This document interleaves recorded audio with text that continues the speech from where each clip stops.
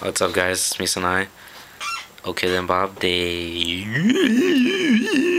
267. I'm sorry about this awkward looking jacket, I'm just, I gotta go out real quick. Take the trash out when mom's bugging. Uh, but yeah, how's it going guys? I'm just, I'm happy I got my ticket for hard from my friend Gianni. She's nice, yeah. It's, you know, Gianni, girl, yeah. Gianni's a boy's name, but she's she's alright. She's cool. She's cool. she's alright. Uh, yeah, but I bought her ticket. Uh, about to go to Hard. Check it out. Hard is like a techno, electro slash electro uh, event. I don't know. I wouldn't say a rave.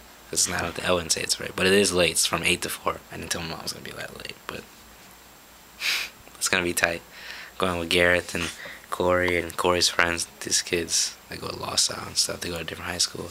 And one kid, Eric, I think he said, that goes to Poly. It's about to be tight. I'm about to have all these videos up. Tight. I know there's gonna be a lot of chicks there. A lot of people on E. You know, I don't personally do drugs, but it should be a fun experience to see all these people walking around, you know, with light shows and all that stuff. That's gonna be that's gonna be fun. Peace out the academy. Wish me a good time.